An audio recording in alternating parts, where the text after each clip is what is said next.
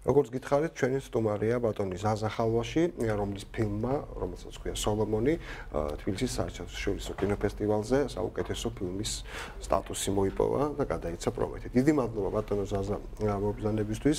მადლობა სტუმრობისთვის, პირველ რიგში გისურვებთ გილოცავ წარმატებას.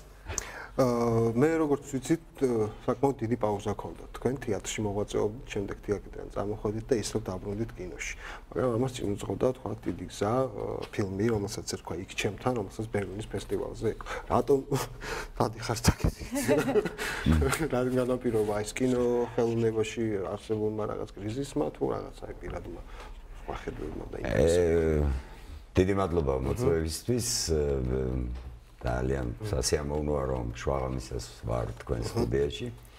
ერთი რამ მინდა ვთქვა რომ ალბათ ადამიანი მithumetes აა როცა არ ახარ რაღაც გამოკიდებული და ხარ თავისუფალი ცდილობ მხოლოდ მაშინ თქვა რაღაც როცა გეთქმის და როცა გინდა რომ თქვა და როცა ნამდვილად აღარ შეგიძლია რომ თქვა რომ არ თქვა და ალბათ ეს პაუზებიც, აი ეს სუბიექტური მომენტია. იმიტომ რომ უამრავ რამეს აგროვებ, უამრავ რამეს აანალიზებ, უამრავ ისტორიული პროცესების ეპოქაში ვცხოვრობთ თან ამავე დროს. და ყოველთვის ვცდილობ გააკეთო ისეთი რამ, რომელიც ამას ყველაფერს შეაჯამებს. და რაღაც იმიტომ რომ ჩვენ არ გვაქვს ახლა ინდუსტრიის საშუალება და იმის საშუალება რომ შენ ყოველწლიურად გადაიღოს სურათი კინოინდუსტრია, ქართული კინო დღეს მე ვფიქრობ ძალიან საინტერესო ძურები ხდება ქართულ კინოში. ახალი თაობა, ძველი თაობა, საშუალო თაობა, ყველანი ამოძრავდნენ. მე ვფიქრობ ეს კარგი ტენდენცია. კარგი ტენდენცია, იცით რატომ? აი კარგია, კარგი ტელევიზიები, მე ბოდიში ვიხდი ახლა ტელევიზიაში ვარ, მაგრამ ქვეყნის იმიჯის ჩამოყალიბებაში კინემატოგრაფს განსაკუთრებული ფუნქცია აკისრია. მას შეუძლია მთელი ქვეყანა მრავალმხრივი ფენომენის სახით წარმოადგინოს. იქ მხატვრობა, მუსიკა, გემოვნება, ესთეტიკა, აზროვნების კულტურა, ბოლოს და ბოლოს ხომ? და სოფიო საუკეთესო საკომუნიკაციო საშუალება ამ სოფლანარჩევში. რა თქმა უნდა, ბოლოს და ბოლოს ეს კინო, ენა, კომუნიკაციის ის საშუალება რომელიც ხანდახან თარგმანსაც კი არის გამოსახულება. მით უმეტეს ქართულ კინოს ამის დიდი ტრადიცია და გამოცდილება აქვს. როცა არა ვერბალური ფორმით, არამედ სწორედ ვიზუალური ფორმით ყვები შენ რაღაც ისტორიას, რაღაც შენს მიერ შეთხზულს თუ შენს გვერდით გათამაშები. ბატონ ზაზა, როგორ მოხდა სოლომონის იდეის გაჩენა? მე როგორც ვიცი, რეალური პროტოტიპი ყავდა კინოგმის. თვითონვე ითამაშა და თვითონვე არის გმირი და ბოდიში ახლა მაგრამ აღარ არის ამ ქვეყნად წავიდა ამ ქვეყნად ვერ მოესრო ფილმის პრემიერას და მე იქ სენდა თქვი ძალიან ნიჭიერი ბიჭი იყო ძალიან ნიჭიერი კაცი იყო მუსიკოსი მაგრამ ხო არიან ისეთი ნიჭიერები რომლებიც ვერაზროს აი სახლის ღურბლის იქეთ ხელი თუ არ ჩაკიდე და არ გამოიყვანე ვერაზროს ვერ მოახერხებს თავისი თავის რეალიზებას და შენთვის ამ თავდაბალია და თავდაბალიც და რაღაც კომპლექსი ალბათ რაღაც ფსიქოლოგიასთანაც გვაქვს საქმე ხო? შეიძლება არც იყოს ეს ხელოვანი ადამიანის საქმე ასე ვთქვათ თვითონ გააკეთოს პრეზენტაცია თავისი ნამუშევრის ეს ყველას არ შეუძლია ის ქმნის. და გავიცანი მე მქონდა ეს სცენარი გაკეთებული რეჟისორზე ჩემზე რომელიც დადის ეძებს ფულს და კინო გადაიღოს რაღაც ამბავი და გავიცანი შემთხვევით. იყო შესანიშნავი მუსიკოსი სხვათა შორის ქალბატონმა ნინო ქათამაძემ მისი რამდენიმე კომპოზიციაც კი შეიტანა თავის რეპერტუარში. მე თვითონაც კი დაპატიჟა რომ მას თანამშრომლა, მაგრამ აი ესეთი იყო ანდერგრაუნდისტი, ასე ვთქვათ რა, ანდერგრაუნდი იყო თავისი ცხოვრების სტილი. მე ამან რაღაც მომხიდლა და ამაში მე დავინახე რაღაც პოსტსაბჭოთა საქართველოს ხელოვანი ჩემთაობის განსაკუთრებით რომელიც მე ვფიქრობ გამოტოვებული თაობას გვეძახით რაღაც იმ დღეს ჩემი კოლეგები რო შევიკრიბეთ ერთმანეთში საუბრობდით რომ ჩვენ გამოტოვებული თაობა ხო არა ვართ მაგრამ ეს იმას არ ნიშნავს რომ ჩვენ ამის გამოსათქმელი არ აგვაქვს. ძალიან ბევრიც გვაქვს სათქმელი ამ ფილმით ვიტყვით კიდევაც და ჩემი კოლეგები სხვა რეჟისორები მოგეხსენებათ როგორ აქტიურად მუშაობენ ბატონო ზაზა, საერთაშორისო ენაზე ვსაუბრობდით, ვამბობდით, რომ ამით საქართველოს ერთგვარი სურათი შეგვიძლია გავიტანოთ გარეთ კინოხელოვნებით. თუ გაქვთ გეგმაში საერთაშორისო უკვე ჩვენებები ამ ფილმის ფესტივალებზე თუ ეს გაგზავნილია მნიშვნელოვანი იყო ჩემს ქალაქში, ჩემს თბილისში, ჩემი დედაქალაქელი მაყურებლისთვის მეჩვენებინა ჩემი ფილმი და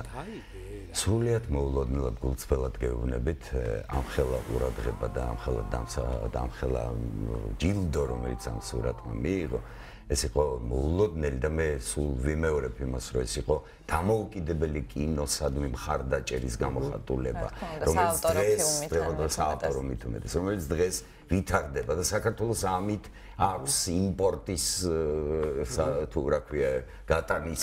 გატანის საშუალება და ეს იყო ამის მხარდასაჭერი, იმიტომ რომ ჩვენ ფაქტიურად ჩვენი ფულით სულ 10000 დოლარი თუ დაგვიჯდება, რომ დავთვალოთ ახლა бенზინის და ყველის და ძეხვის ამ საკუთარი ხარჯებით.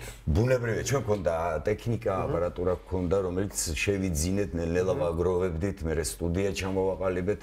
ეს ფილმი კეთებოდა ჩემი თანამოაზრეების გვერდით ისეთების როგორც არის მსახიობი და რეჟისორი ზურაბ ქავთარაძე, ოპერატორი მამუკა ჩხიკვაძე, და თვითონ ეს სოლომონ מחარაძე რომელიც მე ფიქრობ დაუწყარი სახე შექმნა მეც ახლა თქვენთან ერთად როცა დედაქალაქელ მაყურებელთან ერთად უყურე რაღაც ხანაირად დავინახე და მივხვდი რომ სოლომონი თავისი მუსიკით, თავისი პოეტურობით, თავისი ამაღლებულობით დაბრუნდა ქართულ კულტურულ სივრცეში ოღონდ დაბრუნდა ფილმის სახით და ის ცოცხალია და ის ჩვენს გვერდით. ხო, სოლომონი ალბათ უფრო კრებითი სახელია, რომ ძალიან ბევრი ნიჭიერი ადამიანია, რომელიც თავის თავის რეპრეზენტირებას ვერან არ ახდენს ბევრი გარემოების გამო, ბევრი იკარგება სამწუხაროდ ან გარბის აქედან.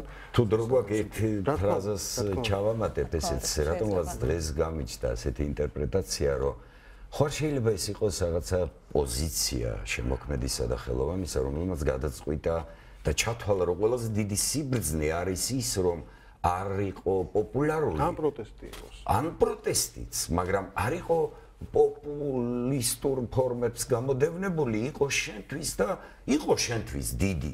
და არ იყოს ეს აღიარებული და იცხოვრო ასე რა მოხდა რა ცუდი ცუდი იზდებს ამაში რაღაც იდეა ძალიან ბევრი ცნობილი მუსიკოსი დაგეთანხმებოდათ არის ძალიან ბევრი გამონათქვამი რომელიც სწორედ იმას უკავშირდება რომ მუსიკოსი უნდა მუსიკის კეთება და მისთვის არ არის მთავარი აღიარება, მთავარი არის პროცესი, რაღაც საკუთარ ფილტრში გატარება იმ შთაგონების, რომელიც საიდანღაც მოდის, შეიძლება. ესეც იყოს ერთ-ერთი თქოს თქვენი გმირის პოზიცია, ხო? და ეს მთელი მსოფლმხედველობა, ეს აღარ არის, ეს პოზიცია უკვე რა. ჩვენ გვინდა ამაში აუცილებლად დავინახოთ პროტესტი, აუცილებლად დავინახოთ ის, რომ სოციალური გარემო აწვება მხრებზე და შეჭამა და ასე შემდეგ. ამ დროს რატომ არ შეიძლება ჩავთვალოთ, რომ ის თავისთავად ბედნიერია? იმიტომ, რომ მას აქვს ეს დამოუკიდებლობა მოპოვებული ყოველგვარი პირობითობებისაგან. რომელიც ჩვენ საზოგადოებრივ ცხოვრებას ახასიათებს. გადაღება ბათუმში მიმდინარეობდა, ხო? ხო, ბულეთში, იცით ეს არ არის ისეთი მულტიკულტურულ გარემოში ხდება მოქმედება იქ, ბოშები ცხოვრობენ, სხვადასხვა. მე ვიცი, სხვა სხვადასხვა სოციალური თემები იყო, ასე ვთქვათ, გამოჩენილი. კი, ჩადიმული აქა-იქ. კი. დამიკითხავს რამდენიმე ბლოგი, სხვათა შორის ერთი შეზღუდული შესაძლებლობების მქონე პირის ბლოგი წავეკითხე, რომელმაც ნახა თქვენი ფილმი და ძალიან ემოციურად დამოხტული იყო იმ ერთ-ერთი სცენით, სადაც სწორედ ესეთი ადამიანია ნაჩვენები რა. და აი ჩემთვის ეს კადრია ძალიან მნიშვნელოვანი. იქ რო ჩანდა კვალი თოვლზე. გადასახედინე. ხო. იმიტომ რომ თოვლი გაზაფხულზე გადნება, ეს კვალიც წაიშლება.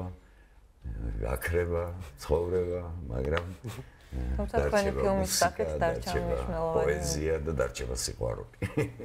რა თქმა უნდა. ძალიან საინტერესო პიროვნება იყო და ძალიან საინტერესო ბიჭი. ჩვენ ვიღებდით აი ასე, ენთუზიაზმით, მეგობრობით, სიყვარულით და ვიღებდი ორი წლის განმავლობაში. ძალიან საინტერესო უბანია ის გელაურის აკობულეთში.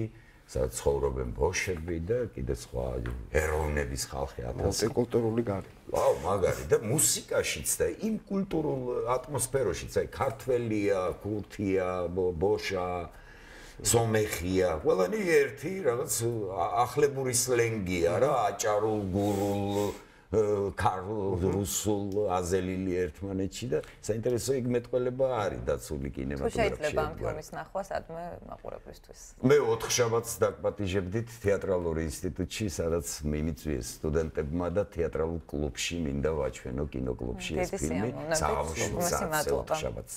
დიდი მადლობა სტუმრობისთვის. დიდი მადლობა. მაყურებელს შევახსენებთ, რომ ჩვენი სტუმარი იყო ბატონი ზაზა ხალვაში, რომელიც გახლდათ ფილმ სოლომონის რეჟისორი, ფილმის, რომელმაც საერთაშორისო კინოფილმის თბილისის საერთაშორისო კინოფესტივალზე მთავარი პრიზი პრომეთე დაიმსახურა ქართულ სექტორში. დიდი მადლობა კიდევ ერთხელ სტუმრობისთვის. ჩვენ კი სწორედ ისეთ მუსიკოსებს უთმობთ, ასე თქვა, ჩვენ სცენას, რომლებსაც უნდათ საკუთარი თავის წარმოჩენა და ეს არის კომუნიკატორის რუბრიკა ცოცხალი. გვინდა გაგიზიაროთ ჯგუფი მესამე ნაპირი კომპოზიციით Flames. თქვენ უყურებთ კომუნიკატორს გემშვიდობებით ხვალამდე. ხვალამდე.